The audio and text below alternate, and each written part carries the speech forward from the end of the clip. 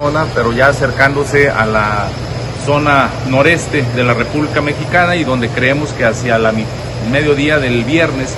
pudiera tener su ingreso eh, pues en la zona norte de Tamaulipas. Eh, bajo este frente frío número 4 pudiéramos tener en el caso de la frontera alguna disminución ya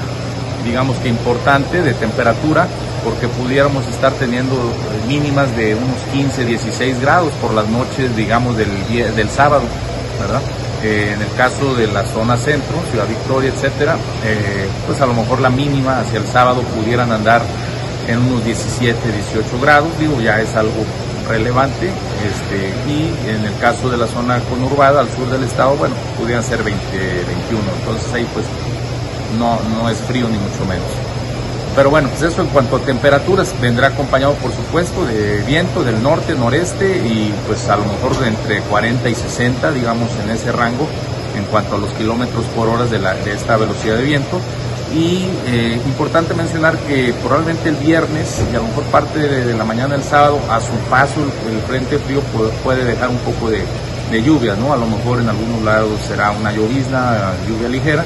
y en algunos otros lugares alguna pues situación un poco entre moderada o fuerte puntual